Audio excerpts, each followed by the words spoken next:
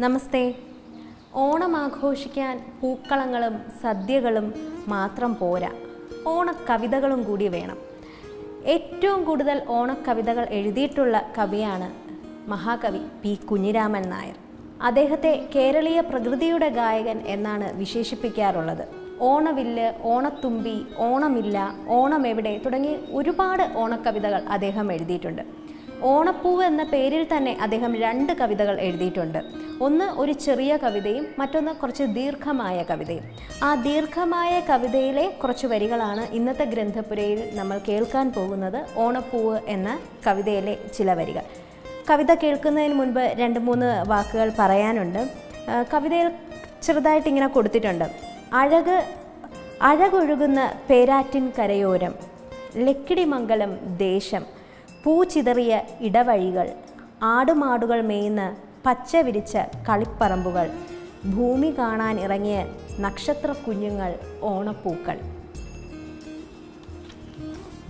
ഓണപ്പൂക്കളെ ഭൂമി കാണാൻ ഇറങ്ങിയ നക്ഷത്രപ്പൂക്കളായിട്ടാണ് ഈ കവിതയിൽ കവി വർണിച്ചിരിക്കുന്നത്. എത്ര മനോഹരമായ വർണനയാണ് എന്ന് ചിന്തിച്ചു നോക്കൂ. അതുമാത്രമല്ല സ്വന്തം നാട്ടിൽ തന്നെ പ്രവാസിയെ പോലെ അലഞ്ഞു നടന്ന കവിയായിരുന്നു പി. കുഞ്ഞിരാമൻ നായർ.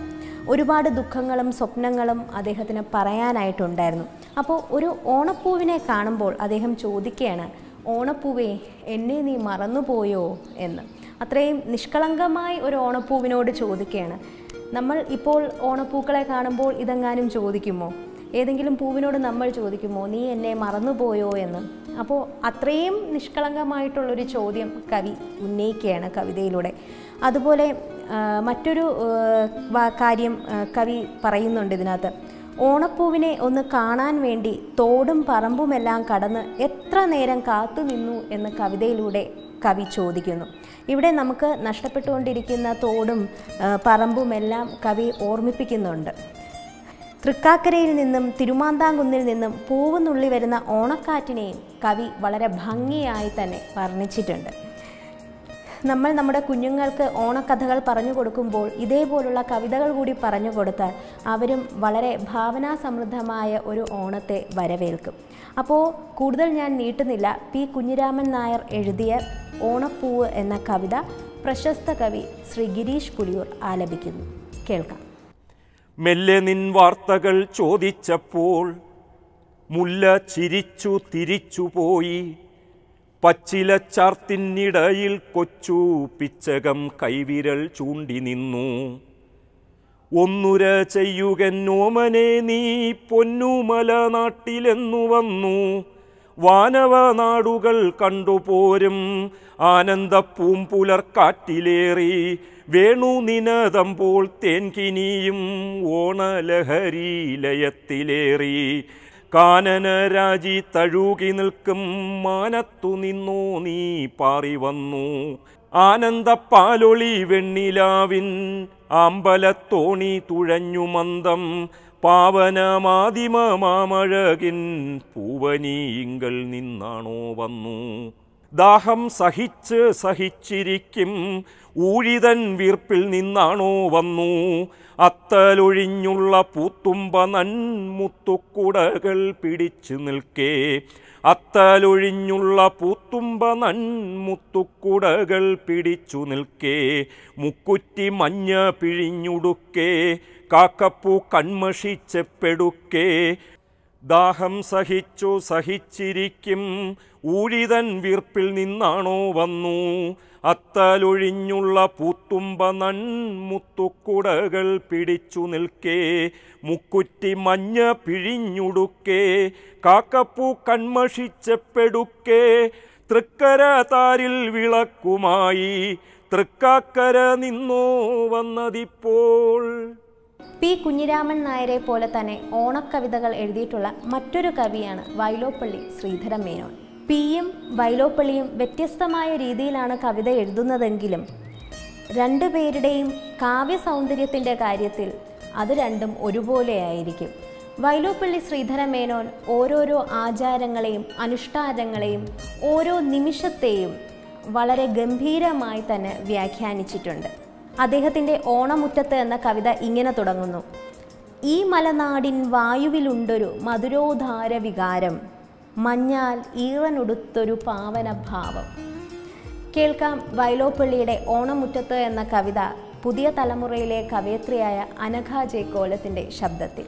ഈ മലനാട്ടിൻ വായുവിലുണ്ടൊരു മധുരോദാരവികാരം മഞ്ഞാലീറനുടുത്തൊരു പാവനഭാവം. ഈ മലനാട്ടിൻ വായുവിലുണ്ടൊരു മധുരോദാരവികാരം. മഞ്ഞാലീറനുടുത്തൊരു പാവനഭാവം. മഴ കൊണ്ടാലും പാവം തുമ്പകൾ മലരിൻ കൂട നിറച്ച് വിറച്ചേ നിൽക്കുകയല്ലോ മേടുകൾ തോറും. മഴ കൊണ്ടാലും പാവം തുമ്പകൾ മലരിൻ കൂട നിറച്ച് വിറച്ചേ നിൽക്കുകയല്ലോ മേടുകൾ തോറും. തിരികൾ തെറുത്ത് കൊളുത്താനുറ്റ മുഹൂർത്തം കാത്തു കുഴഞ്ഞു മടങ്ങിയ കരവിരലോടെ. ദീപക്കുറ്റികൾ നാട്ടിരിപ്പൂ നറുമുക്കുറ്റികൾ. ദീപക്കുറ്റികൾ നാട്ടിരിപ്പൂ നറുമുക്കുറ്റികൾ. നിലാവാൽ കമുകിൻ പൂവരി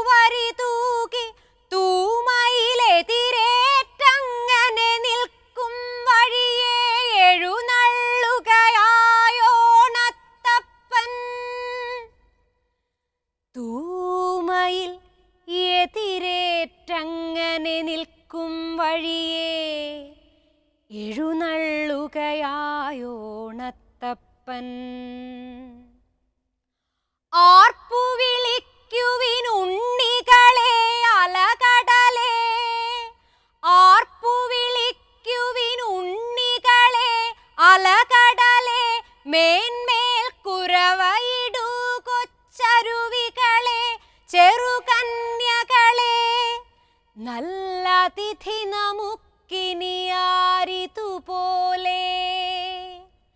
നല്ല തിഥി നമുക്കിനിയാരിതുപോലെ. നീളും മലയുടെ ചഞ്ചലവട്ടയിൽ നാളം പാടല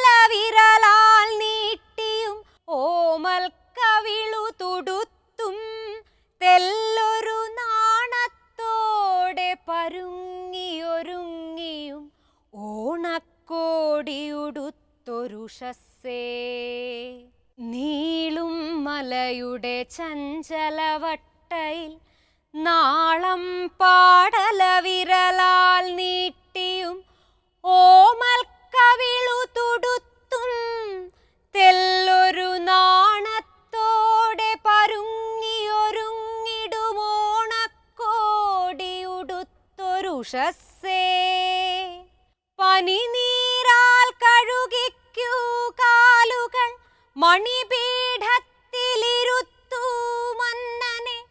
പനിനീരാൽ കഴുകിക്കൂ കാലുകൾ മണിപീഠത്തിലിരുത്തൂ മന്നനെ. മലയാളത്തറവാട്ടിനങ്കണമണിപീഠത്തിലിരുത്തൂ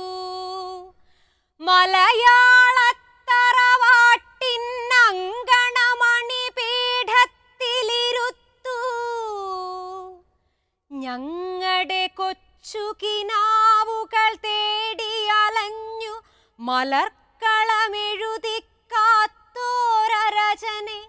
ഞങ്ങളുടെ കൊച്ചുകിനാവുകൾ തേടി അലഞ്ഞു മലർക്കളമെഴുതി കാത്തോരരചനെ. പാടട്ടെ ഞാൻ പാടട്ടെ ഞാൻ പണ്ടു സുരാസുരർ കൂടി ക്ലേശിച്ചാഴി കടഞ്ഞതിൽ നേടിക്കൊണ്ടോരമൃതം. ചതിയാൽ ദേവർ കവർന്നതും അസുരജനം പരിദേവനമാർന്നു